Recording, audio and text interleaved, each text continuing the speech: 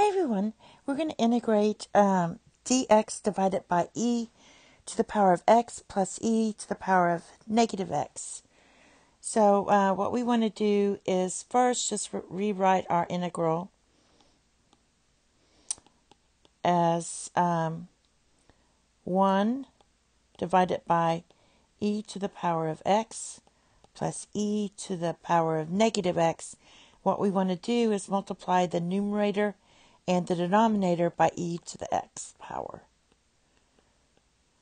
All right, so in doing that, you're going to get our integral is e to the x divided by e to the 2x plus, and when you multiply these, it's going to be e to the negative x plus x, which is e to the 0, so that's going to be 1.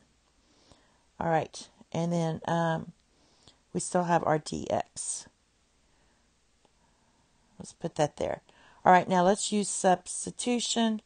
And we're going to let uh, t equal e to the x. Therefore, derivative of t equals uh, e to the x dx.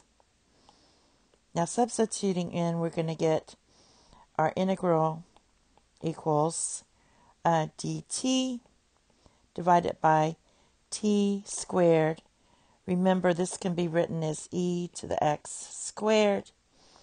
All right, so we have t squared plus 1.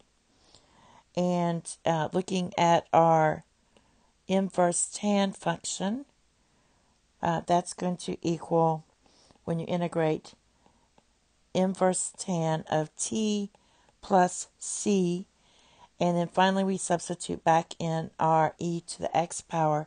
So our final answer is going to be uh, inverse tan of e to the x plus c. And that is your final answer. Thank you. Have a nice day. Bye bye.